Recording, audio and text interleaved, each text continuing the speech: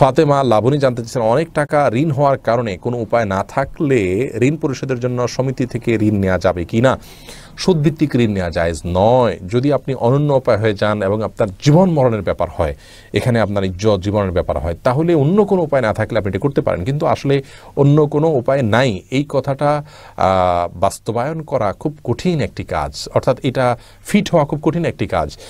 কারণ আমাদের জমি জমা থাকে অনেক কিছু থাকে যেগুলো সেল করলে হয়তো আমরা কোনো না কোনো একটা উপায় খুঁজে পেতে পারি। সেই জায়গায় আমাদের যাওয়া উচিত সে আশ্রয় নেওয়া উচিত।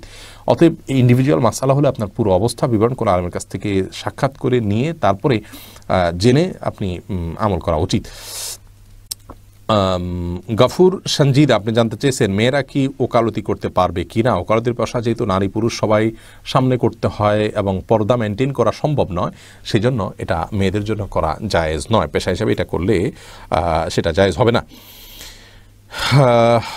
এর পরের প্রশ্ন হলো আপনার ফখরুল ইসলাম উজ্জ্বল আপনি বলেছেন, আগে বলেন ইসলামী ব্যাংক, ব্যাংকে বৈধ কি না প্রশ্নটি পুরোপুরি ক্লিয়ার না। নুসরাত সুলতানা রত্না, আপনি জানতে চেয়েছেন নামাজের ওয়াক্ত চলে যাচ্ছে, এই মুহূর্তে শুধু ফরজ নামাজ আদায় করলে কি কোনো গুণা হবে? নামাজের ওয়াক্ত যদি চলে যাচ্ছে এমন হয়, এই মুহূর্তে আপনি যদি শুধু ফরজ ওয়াক্ত আদায়, ফরজ নামাজ আদায় করে নেন গুণা হবে না না, বরং এটাই করা উচিত সে সময় যদি হয়ে যায়। মোবারক হোসেন পাভেল, আপনি জানতে চেয়েছেন টাকা ধার নিয়ে কোরবানি দিলে সে কোরবানি কবুল হবে কিনা? হবে।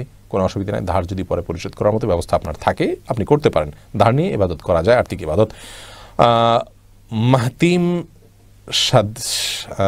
সাদিক, আপনি থেকে জানতে চেয়েছেন, সরকারিভাবে নিষিদ্ধ কার্ড যারা ব্যবসা করা কি হালাল নাকি হারাম? সরকারিভাবে কারেন্ট জাল নিষিদ্ধ যদি হয়, সেটা অবশ্যই আমাদের কল্যাণার্থে, মাছের কল্যাণার্থে বা সার্বিকভাবে মৎস্য সম্পদ বা আমাদের সার্বিক কল্যাণের জন্যই নিষিদ্ধ রয়েছে।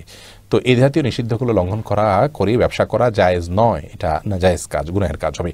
এস আলম, আপনি আইডি থেকে জানতে চেয়েছেন, গোপন অঙ্গে হাত লাগলে উজু থাকে কি না? আমাদের দেশে ওলামাইক্রামের মতে বাহানাই মতো ওলামাইক্রামের মধ্যে গোপন অঙ্গে হাত লাগলে উজু ভাঙবে না।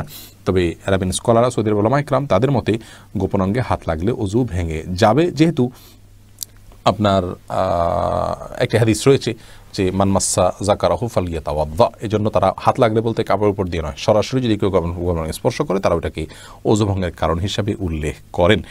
অতএব সেই জায়গা থেকে এটা ওজুভঙ্গের কারণ, তাদের মতে, আমাদের সোলামাইকের মতে এটি ওজুভঙ্গের কারণ।